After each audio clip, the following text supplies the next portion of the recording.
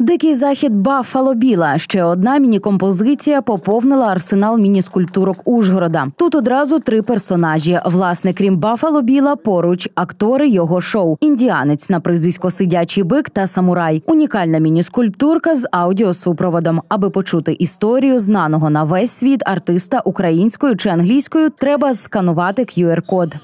Ауді, як кажуть на американському дикому заході.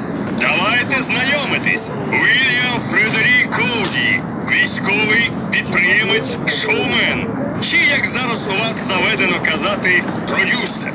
Для друзів та шанувальників просто Баффало Біл. Інтерактивна скульптурка присвячена виступу знаного на весь світ американського колективу Дикий захід, що очолював Вільям Фредрік Коді на прізвисько Баффало Біл. Два наймасштабніших шоу за участі 1300 людей і тварин показав колектив 27 червня 1906 року в Ужгороді у рамках турне Європою, саме неподалік локації міні-композиції. Ця акція вона була, ну я би на даний момент сказав, найбільш масовою в історії Ужгорода і найбільш красивою.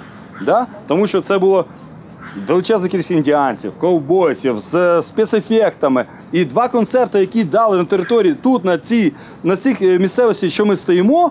Це було величезне надбання для міста Ужгорода. Радий, що сьогодні ставлять пам'ятник такій далекій події, ну яка ну дійсно відтворює історію Ужгорода того часу, про який мало хто знає.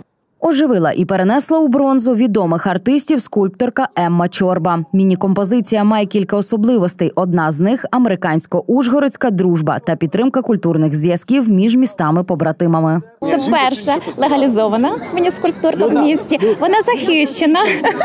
Це вже такий певний відголосок 21 століття, коли ми і дикий захід враховуємо і певні моменти нашого культурного е, контексту. Е, те, що є супровід і англійською мовою, це як олей на душу для англійського філолога. Мені приємно, що це актуально для наших туристів. Що навіть в Ужгороді ну відносно це провінційний край, так Закарпаття, Ужгород. Навіть тут це вже е, на вимозі часу.